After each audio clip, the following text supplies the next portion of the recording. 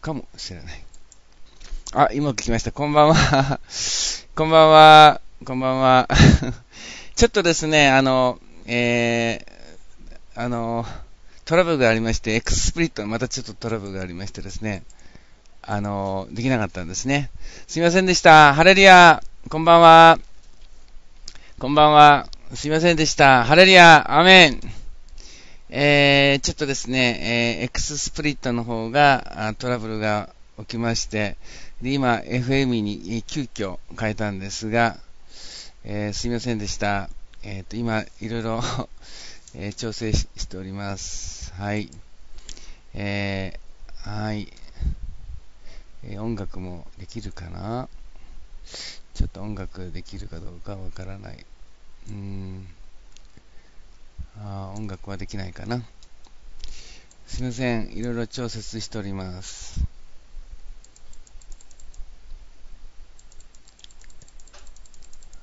あこれですね。はい、これでできるかもしれない。はい、すいません。あ、できそうですね。はい、こんばんは、こんばんは、やっと。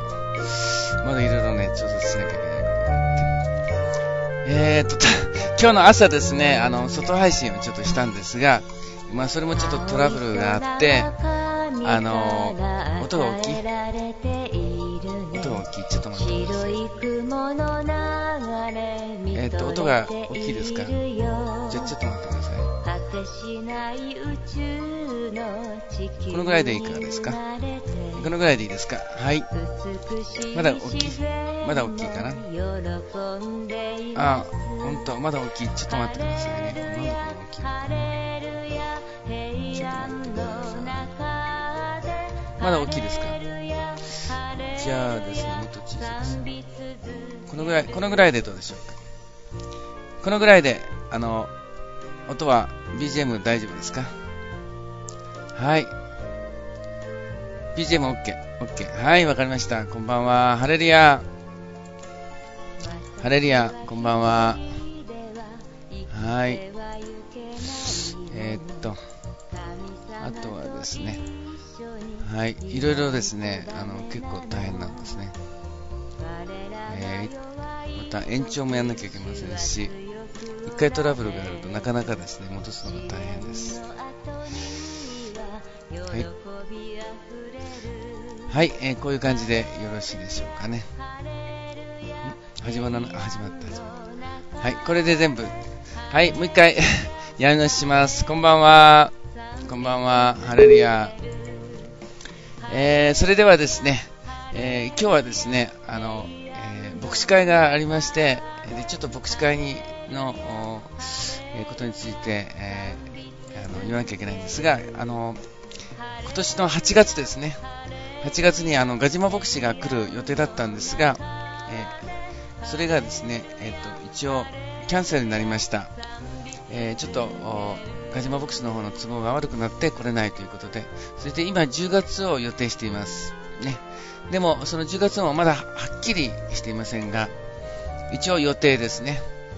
で、もし来るとしたら、あ10月、あ、ごめんなさい、10月はですね、えっと、空10、空10、11かな？えー、9月は空10、11が一応予定しております。でもまだはっきりしませんので、あの、まあ、ちょっとはっきりは言えませんが、えー、一応今日の牧師会の報告です。はい。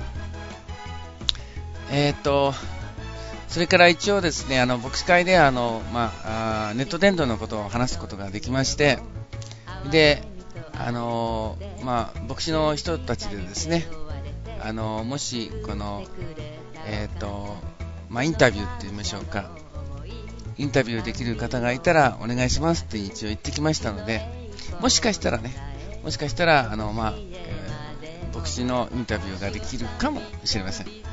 でもまあ、それはちょっと、えー、はっきり分かりませんので、今何とも言えませんが、その可能性があるということですね。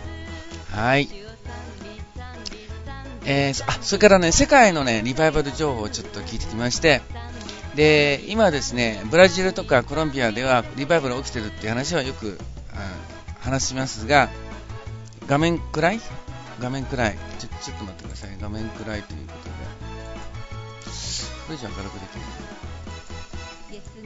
これじゃ明るすぎちゃう。このぐらいでどうでしょうね。これでも明るすぎ、ちょっと明るすぎちゃうね。これじゃ暗すぎちゃう。難しいね。このぐらいでどうでしょう。あ、ちょっと暗すぎる。えー、調節が難しい。このぐらいでどうでしょう。はい、それでですね、えっ、と、うん今問題なのは、あの、えー、ブラジルのクリスチャンが以前たくさん日本に来たんですね。ブラジルのクリスチャン。えー、それはあのブラジルが景気が悪くて日本が景気が良かった時なんですが、で今逆転しまして、今あの、日本の方が景気悪くてブラジルが景気いいんですね。で、えー、逆に今あの、え、ブラジルの方がどんどんどんどん、えー、帰っちゃってる。帰ってるということを聞きました。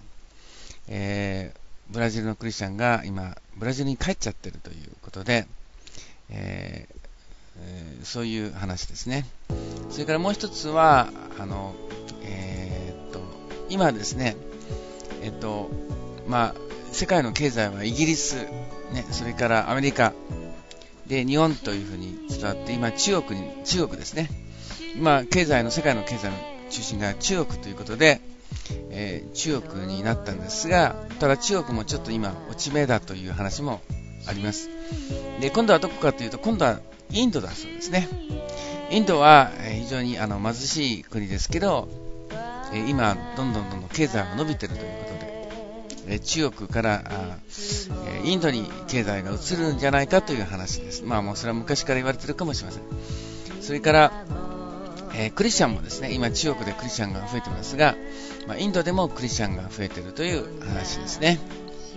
えー、ですから、えーと、経済がイギリス、世界の歴史から考えるとね、まあ、産業革命のあたりからイギリス、それからアメリカ、日本、それから中国と今、あの世界をぐるって回ってるわけですね。それで、えー、今度はあインドだという、そういう話です。そしてそれは、キリスト教のこのリバイバルも含んでますね。昔イギリスでリバイバルが起きて、え、イギリスの経済が良くなって、え、アメリカでキリスト教が増えて、増えてというか、もともとキリスト教の国なんですけど、え、経済大国になり、日本はクリスチャンじゃないんだけど、経済大国になり、で中国は今、クリスチャンが1割ということで、経済大国になり、今度インドがクリスチャンが増えているということで、経済大国になろうとしています。まあ、5年後は、5年後は中国を抜くんじゃ、あの人口、人口がですね、インドが中国を抜くんじゃないかという話もあります。はい。えーと、それでですね、うーん、そういう話を、まあ、牧師会で聞いてきたということですね。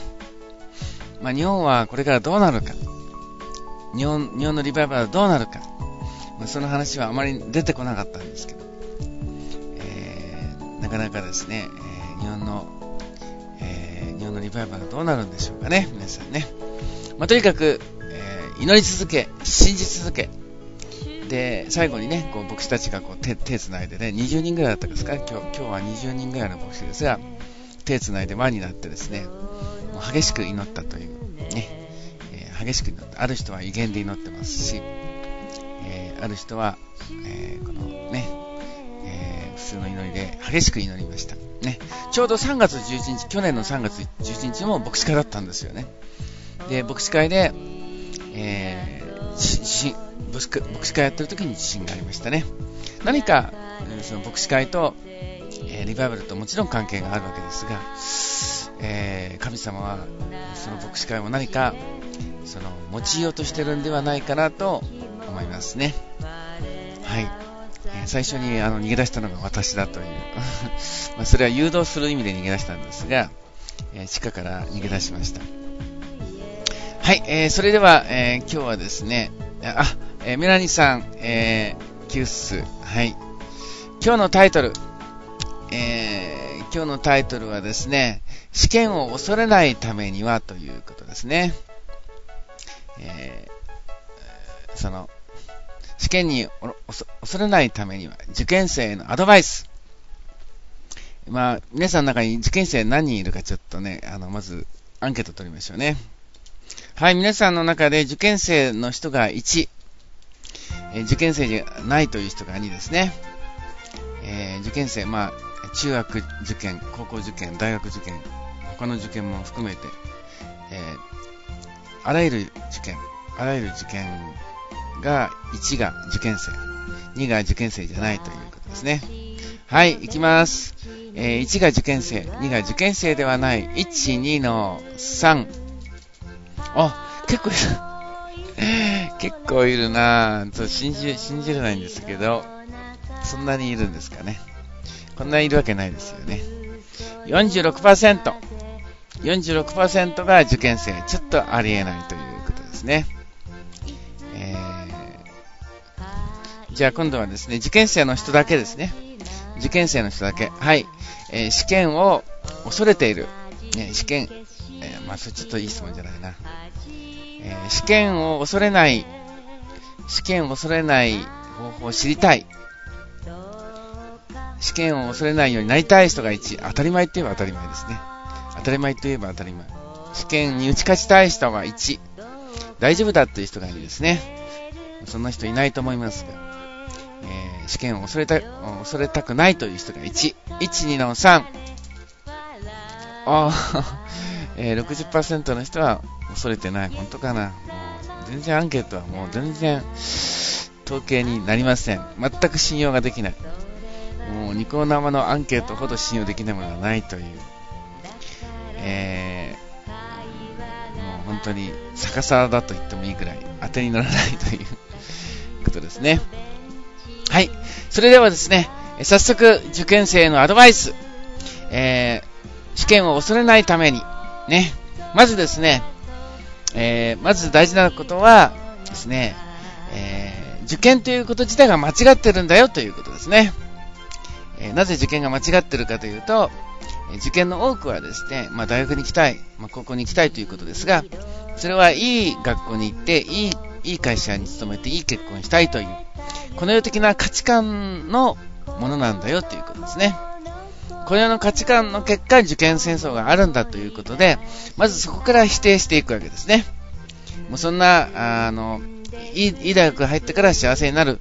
いい会社に入ったから幸せになる。給料が高いから幸せになる。いい結婚ができたから幸せになるということではないんだということです。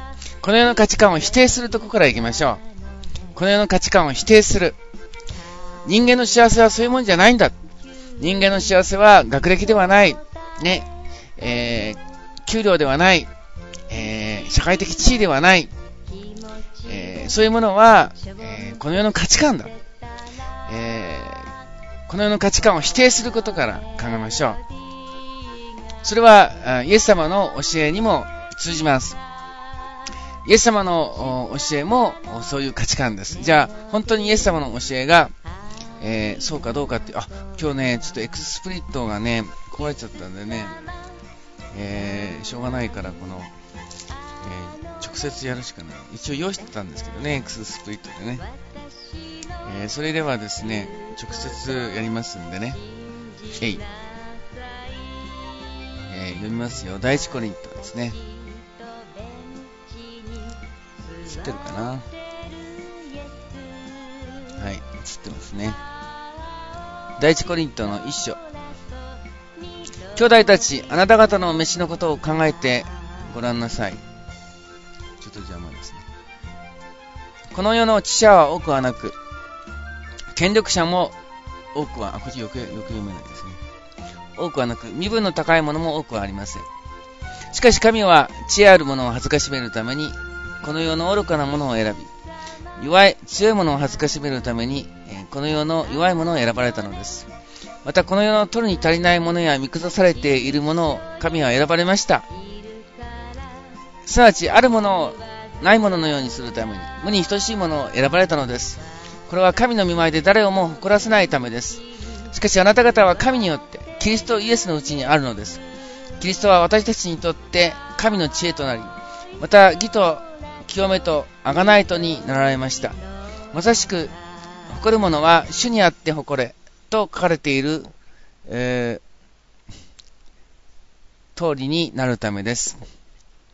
皆さん、えー、ここにあるようにですね、まあ、ニート万歳はここからも来てるんですけども、えー、この世の愚かなものを選び、強いものを恥ずかしめるために、この世の弱いものを選ばれた。この世の取りに足りないものや見下されているものを神は選ばれたということで、神様の価値観は、ね、この世と違うんだ。神様の価値観はですね、えー、この世の社会的地位とか、この世の強いものを選ばれたんじゃないんだ。神様は、この世の弱いもの、見下されているもの、無に過ぎないものを選ばれた。これが聖書の価値観です。この世の価値観を捨てて、この世の価値観を捨てて、聖書の価値観を持つということが大事です。ね。えー、聖書の価値観。つまり、この世と反対の価値観を持つんだということですね。この世と反対の価値観。つまりですね、えー、受験勉強っていうのはこの世の価値観だということです。受験勉強はこの世の価値観、弱肉強食だということ。聖書の考え方は弱肉強食ではありません。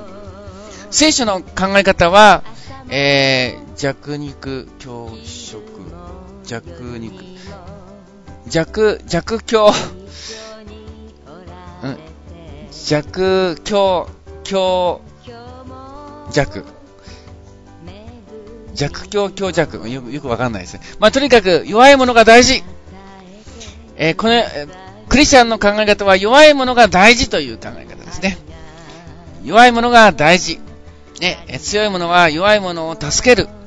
強いものは弱いものを助ける。これがクリスチャンの価値観です。弱肉強食は間違い。弱肉強食は間違いなので、えー、受験戦争は間違いです。なぜ間違いかというと、いいですか？すべての人が学ばなきゃいけないんです。すべての人が勉強しなきゃいけないんです。すべての人が、ね、えー、神のことを学ばなきゃいけないんです。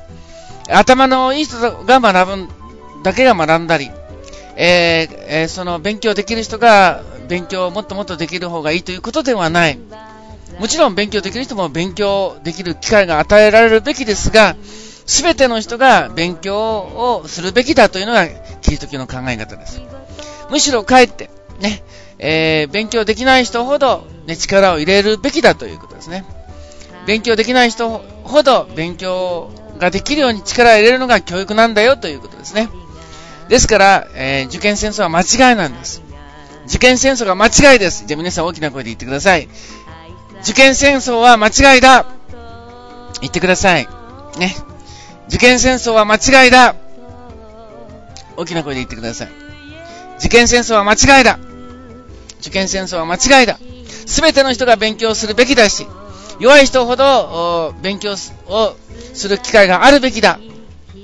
ね、勉強できない人ほど勉強する機会があるべきだということですね。えそういうことの中で、皆さん、受験生の皆さん、まず受験戦争が間違いで、ね、試験に受かったら幸せ、試験に落ちたら不幸、試験に受かったら人生、えー、バラ色、試験に落ちたら人生真っ暗ということはないんだということですね。そういうことはないんだということです。そんなことはないんだということです。試験が受かろうと落ちろうと人間の価値は同じです。試験が受かっても落ちても人生はバラ色なんです。人生が、あ、じゃ人生じゃない。試験が受かっても落ちても人生はバラ色なんです。問題なのはイエス・キリストを信じなければ真っ暗。イエス・キリストを信じればバラ色なんです。試験に受かったらバラ色じゃないんです。試験に受かってもイエス様を信じないだったら真っ黒けなんです。人生真っ暗。人生真っ暗。だから受験生の人、大事なのは試験が受かるか落ちるかではない。試験が受かるか落ちるかではない。落ちても受かっても変わらないんです。変わらない。落ちても受かっても関係ないんです。大事なのは、ね、イエス・キリストを信じることが合格なんです。イエス・キリストを信じることが合格なんです。えー、例えば、あ一流大学行こうと、三流大学行こうと、家で勉強しても勉強できるんです。皆さん、今、皆さんネットやってますよね。えー、ネットにはウィキペディアがあるじゃないですか。皆さん、ネットがあったらもう図書館持ってるようなもんですよ、皆さん。私ね、ネットは素晴らしいと思うのは、まあ、悪いことに使っちゃダメですよ。ネットの素晴らしいのは図書館持ってるようなもんですよ。ググれば何でも出てきます。ググれば何でも出てきますから。これもう図書館持ってるようなもんですよ、皆さん。だから皆さん図書館があったらもういくらでも勉強できる。図書館があればいくらでも勉強できるんです。日本語が読めればいくらでも勉強できる。だから皆さん、勉強なんていうのはね、あのー、その、昔はね、昔はそういう学校行って勉強を学んだかもしれないけど、今はネットでいくらでも勉強できるんですよ。いくらでも伝道できます。あ、勉強できます。だから、多くの人が大学行きたいのは、勉強したいから大学行きたいんじゃなくて、勉強したいから大学行きたいんじゃなくて、学歴が欲しいからです。えー、つまり、見栄なんです。見栄。つまり、えー、学歴という見栄が、見栄で行きたいんです。えー、だからそれは不純だよということです。それは不純だということですね。そんな見栄のために大学行く行くのは、むしろ行かない方がいいんです。学歴が欲しくて行くんだったら、逆に行かない方がいいんです。なぜかというと、えー、今読んだでしょ、えー、主に、主にある、誇るものは主にあって誇れ。誇るものは主にあって誇れというのがあります。つまり学歴がある人は学歴を誇ります。お金を持ってる人はお金を誇ります。社会的地位がある人は社会的地位を誇ります。えー、賢い人は賢いことを誇るんです。え、綺麗な人は綺麗なことを誇ります。だから、え、そういうのは、え見えなんです。プライ、間違ったプライドなんです。それは誇ってはいけないことなんです。誇っていいのはイエス様だけなんです。誇るものは主にあって誇れ。だから神様、この世の知恵あるものを恥ずかしめるために、この世の愚かなものを選び、強いものを恥ずかしめるために、この世の弱いものを選ばれた。この世の取るに足りないものや見下されているものを神は選んだということは、神様は人間的なものを誇ってはいけないんだ。ね、その、外面的なことを誇ってはいけないんだ。誇るものは主にあって誇れ。誇るものは主にあって誇れ。イエス様だけを誇る。イエス様だけを誇る。イエス様だけを誇る。これが本当の、えー、考え方です。本当の価値観です。本当の価値観です。えー、受験生の方々、まずですね、その価値観をしっかり持つこと。この世の価値観を捨てて、えー、イエス様の価値観を持つことが、それが本当の合格です。ですから、試験をですね、あのええー、受験勉強しちゃいけないってことはありませんが、受験勉強よりも聖書の勉強の方が大事なんだ。受験勉強よりも真理の勉強の方が大事。だからね、えー、大学行っちゃいけないとは言いませんが、えー、行けるとこに行けばいいんです。問題なのは大学に行くことが大事じゃなくて、勉強することが大事なの。勉強することが大事。勉強しないんだったら大学行く必要はないんだって。えそしてその勉強っていうのは、本当の勉強は、えー、霊的な勉強、神様の勉強、真理を学ぶ勉強、これが本当の勉強なんです。科学を勉強するのも、社会を勉強するのも、歴史を勉強するのも、これは神様が作った、この世界の真理を学ぶためにあるんであって、単なる知識の詰め込みではないんです。単なる、単なる知識の詰め込みは勉強ではないんです。えー、その、見栄のために、えー、その、雑学を身につけても意味がないんです。本当の勉強は真理を学ぶことです。本当の勉強は真理を学ぶことであって、真理を学ばないなら学校行ってもしょうがないんです。本当の真理を学ぶ。本当の真理を学ぶ。それは、えー、この伝道部屋で学ぶことができます。ですから、まあ、この伝道部屋がですね、学校みたいなものなんです。この伝道部屋が学校のみたいなものですから、皆さん、真理を学びましょう。イエス様の教えを学びましょう。それが本当の勉強です。それが本当の勉強です。ですから、が試験受かっても落ちてもいいんです。試験落ちても受かっても、えー、勉強はできるんです。勉強をすることが大事なんであって、学校に行くことが、あの、大事なんじゃないんです。家にいても勉強できるんです。図書館でも勉強できるんです。ね。ネットで勉強できるんです。ね。だから大事なのは、えー、真理を学ぶことだということです。ね。人にどう思われて関係ないんです。えー、大卒でないと恥ずかしいとか、大卒でないと世間体が悪いとか、もうそんな見栄を捨てるんです。そんな見栄を捨てるんです。そんなことはですね、えー、神様にとってはそんなこと関係ないんです。神様なんてそんなこと関係ないんです。大事なのは中身です。中身が大事なんですね。えー、画面は大事じゃないんです。中身が大事です。アメンですから受験生の皆さん、えー、試験を恐れなくていいんです。受かっても落ちても、それは神様に委ねればいいんです。えー、もし受かりたかったら、祈ることですね。えー、もし試験に受かりたかったら祈ればいいんです。神様に委ねるんです。えそして、え受かるか落ちるか、神の御心を行ってくださいと。え神様は道を導いてください。えね、どの学校に行ったらいいのか、ね、えー、神様に委ねることが大事です。そして、えー、その、そういう、受かったら、あ、落ちたらどうしよう、落ちはどうしようという、そういう価値観が結局のところ、緊張となり、プレッシャーとなり、えー、心が病んでいきます。ね。えー、その、落ちたら自殺するなんて、えー、それは本当にもったいない。ね。試験落ちたから自殺する人いますけど、全くもったいない。ま、まあ、それはこの世の価値観が、皆さん、この世の価値観が自殺を生んでるんです。この世の価値観が自殺を、あのー、多くしてるんです。なぜかというと、ね、えー、落ちたらもう絶望だから自殺する。えー、リストラされたから、えー、絶望だから自殺する。倒産したから自殺、もう絶望だから自殺する。これはこの世の価値観が、この世の価値観が自殺を生んでるんです。この世の価値観が自殺を生んでるんです。この世の価値観が間違いなんです。この世の価値観が間違いなんです。えー、大学落ちたって、ね、リストラされたって、倒産したって関係ないんです。そんなことは死ぬ必要はないんです。死ぬ必要がないんです。生きる価値が十分にあるんです。大学落ちたって生きる価値はあるんです。そんなことはもう全然問題ないんです。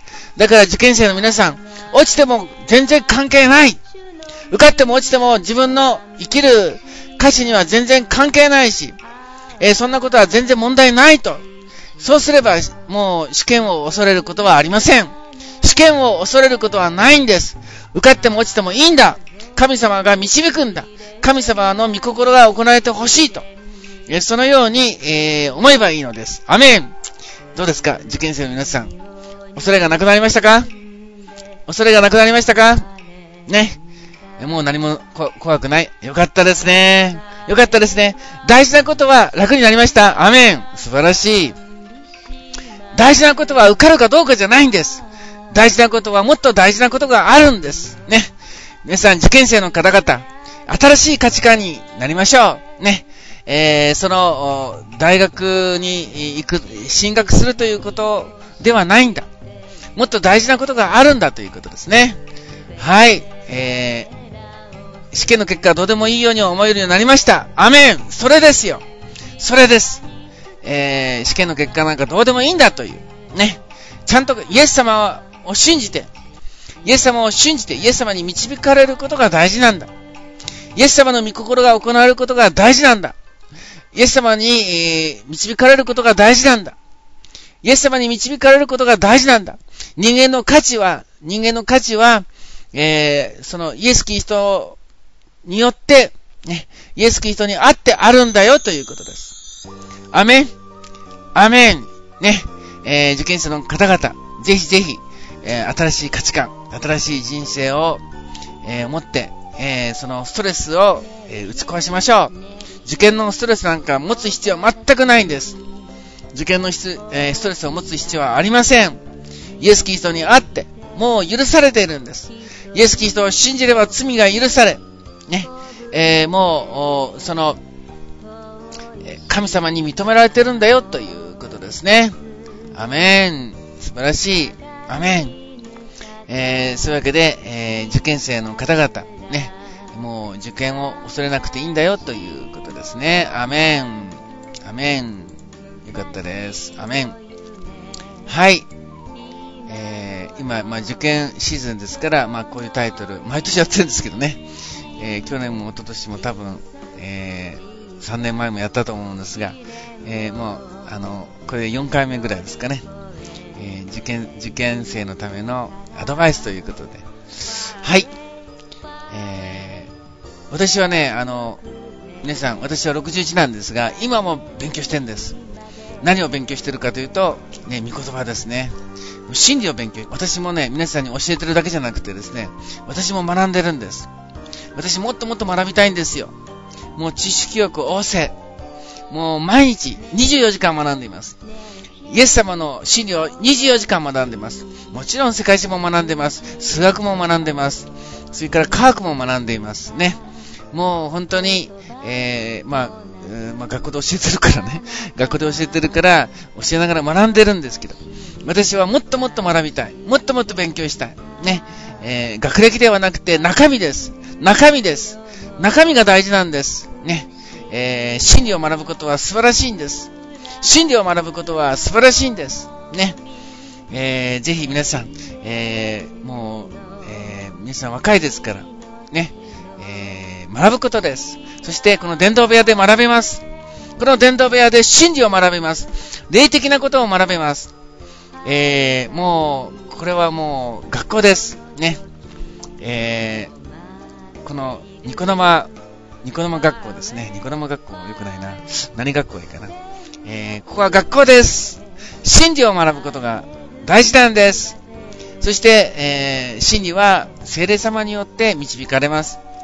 えー、えー、油注ぎによって、油注ぎによって、えー、学ぶ気持ちが起きます。油注ぎによって、えー、この、元気になります。だから、受験生の方で一番大事なのは油注ぎです。えー、油注ぎを受けると、えー、元気になります。えー、元気になればですね、えー、勉強する気持ちになります。えー、ですから皆さん、リスナーの方々、ね、受験生じゃないとしても、受験生じゃなくても、皆さん、リスナー全員がですね、全員が油注ぎを受けて、もっと勉強したいもっと真理を学びたいもっと成長したいもっと自由になりたいね、もう、本当に、えー、もう本当に学びましょう。私も、この伝道部屋でできるだけ教えます。できるだけ信仰を教えます。できるだけ御言葉を教えますね。えー、そして、えー、その、大事なのは、えー、これ、ここのとこよくやりますが、えこの世の資格じゃないんだっていうことですね。えちょっと今日ももう一回やりますね。え私たちの資格は神からのものだ。これよくやりますよね。えっと、これ第2コリント3章かな。え第第2、第3コリント、第2コリント3章に、の5節に、何事かを自分のしたことと考える資格は私たち自身にあるというのではありません。私たちの資格は神からのものです。神は私たちに新しい契約に使えるものとなる資格をくださいました。私たちの資格は神からのものです。神か、私たち、皆さんこれ大きな声で言ってください。私たちの資格は神からのものです。私たちの資格は神からのものです。大きな声で言ってくださいよ。受験生特に言ってください。私たちの資格は神からのものです。アメンアメンこの世の資格、人間の資格、それは本物ではありません。本当の資格は神からのものです。本当の資格は神からのものです。神の資格が必要です。そしてそれは、えー、新しい契約に使えるもの。つまり、御霊、油注ぎこそ資格だということです。皆さんが油注ぎを受けてるなら、それが神からの資格です。イエス・キリストを信じたから。イエス・キリストを信じたから、神から資格をくれてるんです。イエス・キリストを信じたから、油注ぎという、ね、油注ぎという資格を受けているんです。油注ぎが資格なんです。油注ぎが資格なんです。皆さんが満たされて、神に満たされて、神の愛に満たされて、神の力に満たされて、これが神の資格なんです。神の資格なんです。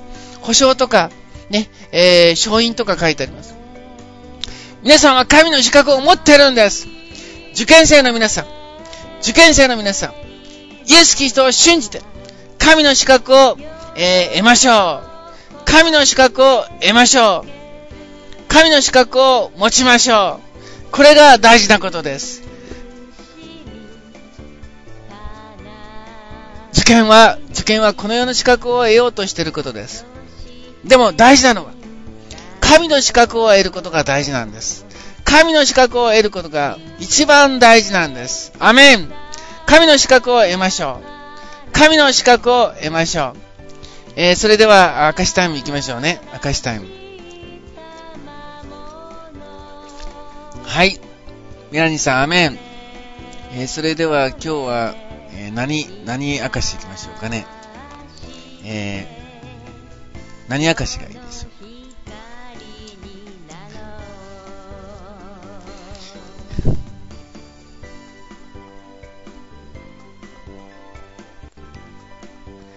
イエス様だけを、あ、四角明石あ、四角赤、明石。四角、神からの四角明石、スタート。神からの四角明石。エビ明石でもいいです。エビ明石でもね。Q ちゃんのおかげで受験を諦めました。この放送見て大学行くのをやめました。神様を愛する資格を持っています。神からの資格欲しいです。腰痛が治りました。悪霊に襲われています。助けてください。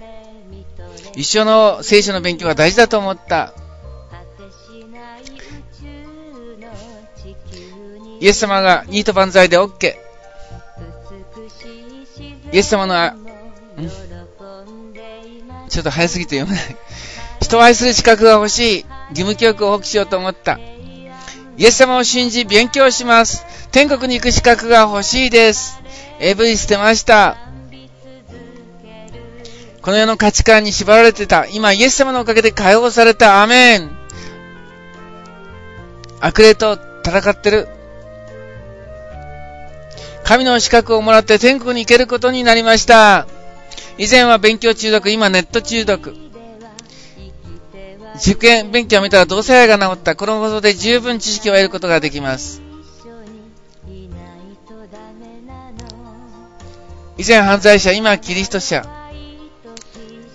イエス様を信じて親に AV 見つかった。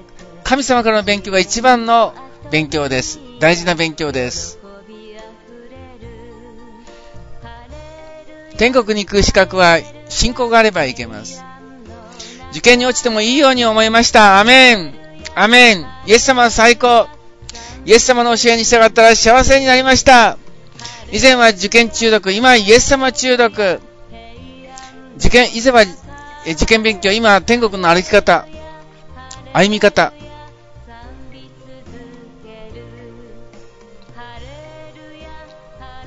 神様と歩んでいこうと決めました。アメン。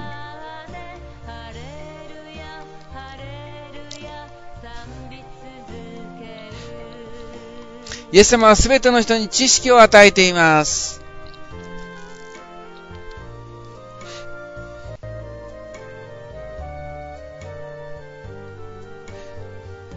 イエス様のためなら何でもできます。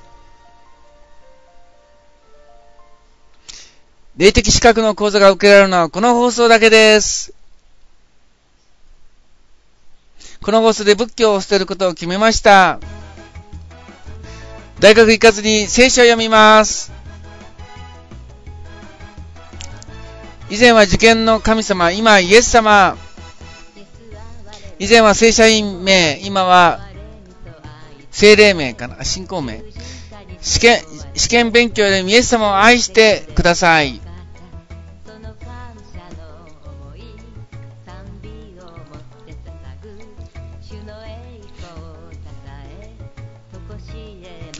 合格基準をキリスト教徒にするべきだと分かった。アメン。神様に従うこと最高の知恵です。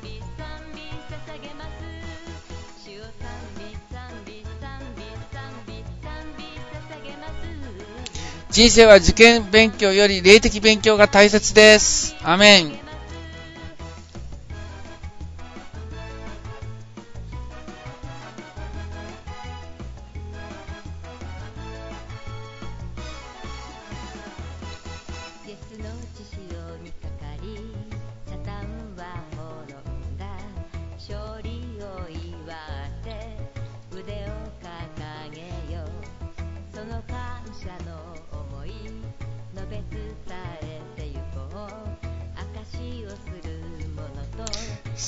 聖書は知識の辞書です。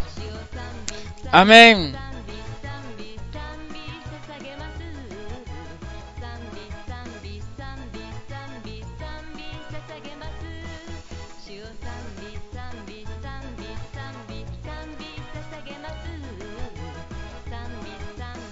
大学落ちてもイエス様がいるから元気が出ました。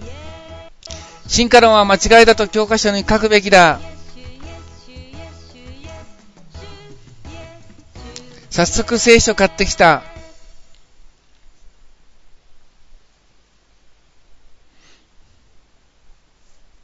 イエス様のおかげで毎日会長です。進化論のページを破り捨てました。イエス様に出会って自信が持てた。この放送のタイムテストを受験生に見せるべきだ。あ、これを著作権もらってます。あの、この BGM は著作権もらってます。許可をもらってます。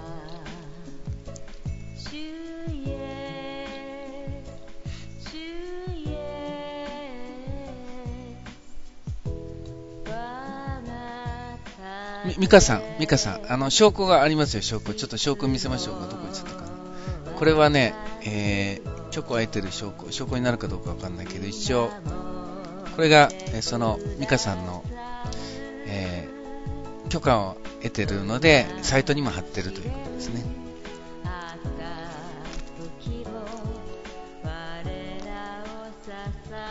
教科書より聖書の方が勉強になった。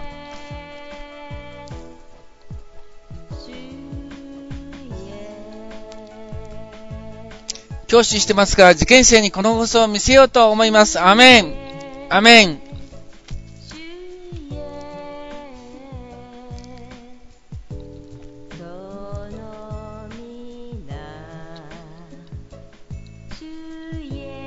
早く皆皆が幸せになりますように。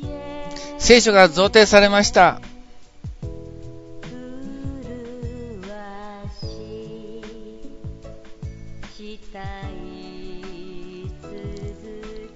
あのね、大学行っちゃいけないっていうことじゃないんですよ。大学行ったっていいですよ。ただ問題なのは動機ですね。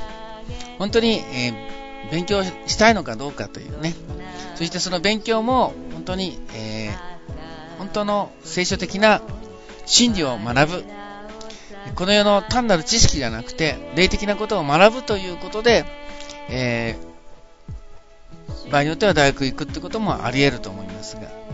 ただ比較的大学というのはそういう、えー、まあ、キリスト教の大学だとしてももうそういう信仰的なものがなくなっちゃってる大学が多いですからそういう意味ではですね、えー、もっともっと学ぶならば、えー、聖書学校の方が学べると思いますねカリスマ派の進学校カリスマの進学校とか聖書学校の方が学べます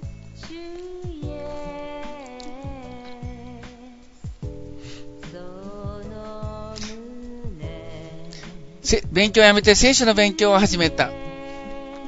大学に合格しても合コンでイエス様の話をしたら合コンダメなんじゃないですか。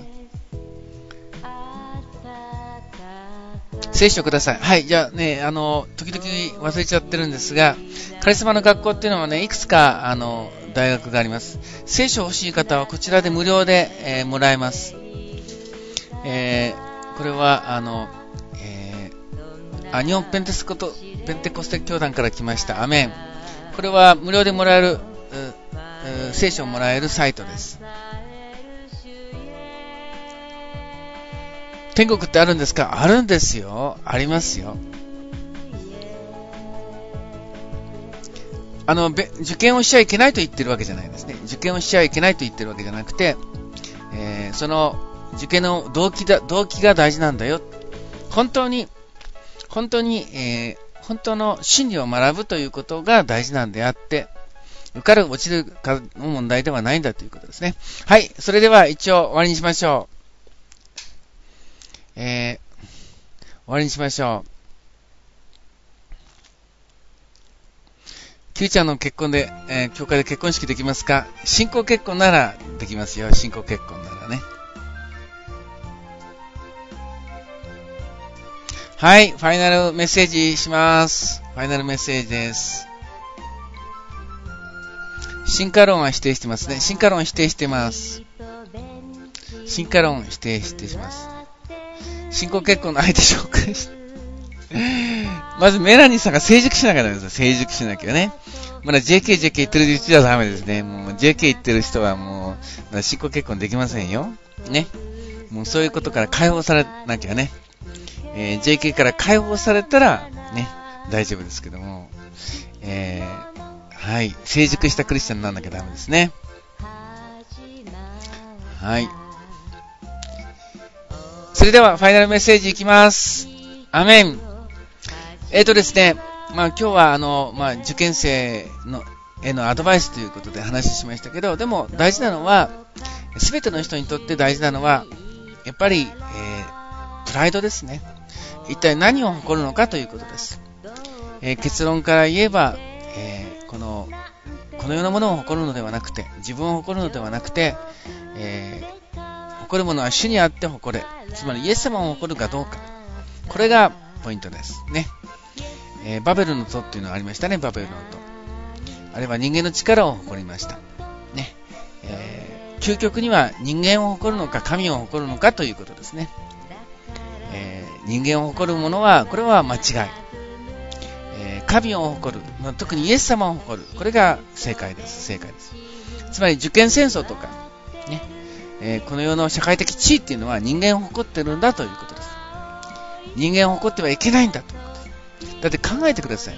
人間っていうのは神によって作られ、神によって生かされてるわけでしょえー、人間が誇るということはおかしいことです。えー、人間を、人間を作った神様。人間を救ってくれた神様。神が全ての、その、源です。神様が全ての源だったら、その神様を誇るのが当たり前じゃないですか。ね。ですから、人間を誇るのをやめましょう。この世を誇るのをやめましょう。自分を誇るのをやめましょう。ね、えー、学歴財産、えー、自分の実績、自分のね、社会的地位、自分の何か、自分の何かを誇るのをやめましょう。これは大きな間違い。大きな間違い。えー、もし誇るならイエス様だけです。イエス・キリストだけを誇るんです。なぜイエス・キリストを誇るんですか、えー、イエス様が、えー、この私たちのために死んでくださって、そこから人間の本当の人生、本当の命が始まったからです。えクリスチャンが救われたのは自分のいい行いしたからではありません。クリスチャンが救われたのはえ十字架のおかげです。だから十字架を誇り、イエス様を誇るんです。皆さん、私たちはイエス・キリストを誇るべきです。アメン。イエス・キリストを誇るべきです。イエス様を誇るべきです。アメン。わかりますか？受験生の皆さん。えー、大学を誇るのではなくて、イエス様を誇るのです。イエス様を誇るのです。十字架を誇るのです。イエス・キリストを誇るのです。これがキリスト教です。これが人生です。これが本当の真理です。本当の生き方なんです。イエス・キリストを誇ることが本当の素晴らしいことなんです。誇れば誇るほど神様に喜ばれるんです。誇れば誇るほど祝福されるんです。それでお招きをします。えー、特に受験生の皆さん、ね、えー、世の中の価値観を捨てて、本当の価値観、えー、人間を誇るのではない、人間を誇るのではない、えー、イエス・キリストを誇る、神を誇る、えー、そのような本当のプライド、本当の、えー、なんて言うんでしょうかね、えー、自尊心と言ったらいいのか、自尊心ではないな。本当の、えー、その、栄光栄、栄光を与えるべきお方。本当に栄光あるべき、栄光あるお方はイエス様だけだよ。イエス様だけだよということですね。えー、イエス様に栄光を返す方。イエス様だけを誇る方、アメンと言ってください。えー、人間を誇らない。この世を誇らない。イエス様だけを誇りたいとして、誇誇りたい方、アメンと言ってください。アメン。アメン。アメン。ジェイさん、小太郎さん、アメン。リュウさん、アメン。アメン。アメン。えっ、とですね、あの、メラニーさんがですね、えっ、と、8時からリレー配信をするそうですね。一応ちょっと、あの、貼りますので、えー、メラニーさんが8時からリレー配信しますので、皆さん、ぜひぜひ、あの、応援に行ってあげてください。ね、応援に行ってあげてください。えー、メラニーさんがリレー配信をします。えー、もう一回入りましょう。これもう一回。はい。それではですね、えー、あの、こう言ってください、皆さん。いいですか？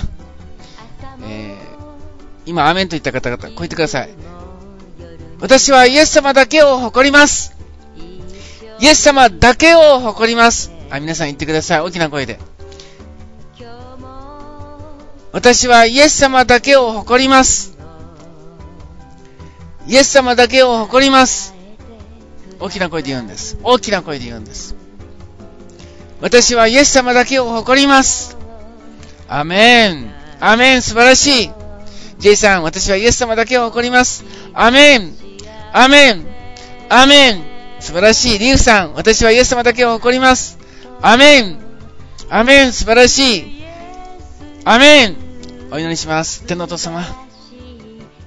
以前は自分を誇り、えー、世の価値観で、えー、劣等感を持ったり、え、コンプレックスを持ったりして悩んでました。え自殺する人も結局はその世の中の価値観のコンプレックスで自殺をしています。多くの人が、えー、精神的な病気になるのも、この世の価値観が、のせいです。イエス様、悩まなくていいことで悩み、苦しまなくていいことで苦しんでいるこの世の価値観を縛ってください。この世の価値観を縛ってください。悪魔から来た価値観を縛ってください。間違った価値観を縛ってください。イエス様、私たちはイエス様だけを誇ることが、本当の価値観えー、自殺する必要もない、苦しむ必要もない、コンプレックスを持つ必要はありません。イエス様、この素晴らしい福音を、この素晴らしい福音を、多くの人に伝えることができますように、今、受験生の人たちのストレスを取ってください。プレッシャーを取ってください。この世の価値観とプレッシャーを取ってください。恐れを取ってください。不安を取ってください。この世の、えー、全てのプレッシャー、すべての恐れを取ってください。リスナーを解放してください。受験、受験生を解放してください。受験生を解放してください。リスナーを解放してください。えこの世の間違った価値観を縛ってください。縛ってください。人々が自由になりますように。自由になりますように。間違った価値観から自由になり、間違ったプライドから自由になり、えー、見え、見えから解放されますように。虚栄から解放されますように。えー、イエス様、イエス様だけを誇る信仰、イエス様だけを誇る誇りを持つことができますように、リスナーが、リスナーがアメンと言いました。えー、イエス様だけを誇る思いでアメンと言いました。イエス様どうぞ彼らに本当の資格を与えてください。天からの資格、神からの資格を与えてください。イエス様の皆によってお祈りします。アメンアメンアメンアメンハレルヤアメン皆さん、喜んでください。神様からの資格をもらいましたよ。受験生の皆さん、神から資格をもらいましたよ。イエス様だけを誇りましょう。イエス様だけを誇りましょう。シャローム、シャローム、アーメン。アーメン、ハレルヤ、アーメン、シャローム、シャローム、アーメン。おやすみなさい、おやすみなさい。アーメン、アーメン、ハレルヤ、アーメン。